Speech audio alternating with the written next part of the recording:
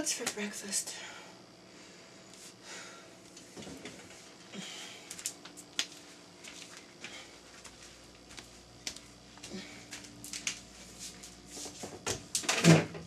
Uh, a normal balanced breakfast again? I don't want this. Aw, sucks for you. What am I supposed to eat? Maybe you should try something new and magical. Like what? Like new Sparkle cereal. Oh my. Where did this come from? From the fun factories of Robyn and Co. and Sugar Caves. Oh, wow. It's so shiny. And sugary sweet.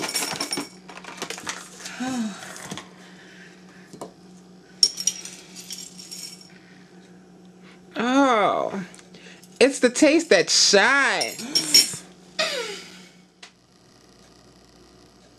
New Sparkle cereal. It can make even a hideous thing like you feel like a princess.